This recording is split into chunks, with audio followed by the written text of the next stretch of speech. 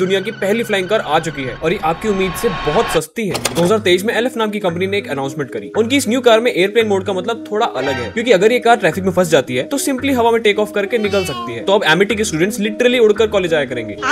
अभी तक जितनी फ्लाइंग कार्स आई है, वो एक हेलीकॉप्टर या फिर एक बड़े ड्रोन की तरह दिखती है। लेकिन एलएफ के सीईओ के अकॉर्डिंग इस कार का जीनियस डिज़ाइन ना सिर्फ़ इसको एक कार जैसा लुक देता है, बल्कि एक रेगुलर कार से भी सेफ़ बनाता है, जिसकी वजह से इसे अमेरिकन गवर्नमेंट से अप्रूवल भी मिल चुका है। लेकिन क्या ये सच में सेफ़ है? वेल इलॉन के अकॉर्डिंग तो नहीं। इलॉन का कंसर्न है की एक फ्लाइंग कार ना सिर्फ़ एक ड्राइवर के लिए, बल्कि नॉर्मल लोगों के लिए भी एक बड़ा खतरा है, क्योंकि फ्लाइंग कार्स बहुत नॉइजी होती है और टेक ऑफ़ के वक्त बहुत ज़्यादा विंड थ्रस्ट जनरेट करती है। तो ट्रैफ़िक के बीच से इनका उड़ना लोगों को बहुत घबराहट दे सकता है। और जब हम रोड पे ठीक से गाड़ी नहीं चला पाते, आसमान की तो बात ही छोड़ो। लेकिन एक बड़ा फ़ायदा होगा, आसमान में कोई चलान नहीं काट पाएगा। वेल सेफ़ और नॉट लोग फिर भी इसको खरीदने के लिए लाइन लगाकर खड़े हैं, इसके प्राइस की वजह से। क्योंकि इस फ्लाइंग कार के टू सीटर मॉडल को आप एक मर्सिडीज से भी कम दाम में खरीद सकते हैं, जो है सिर्फ़ 2.4 करोड़ इसलिए 440 लोगों ने ऑलरेडी इसकी प्री बुकिंग कर दी है और कंपनी 2025 के एंड में इसकी प्रोडक्शन भी शुरू कर देगी। इस गाड़ी को खरीदने के लिए लोन अप्लाई करो फॉलो बटन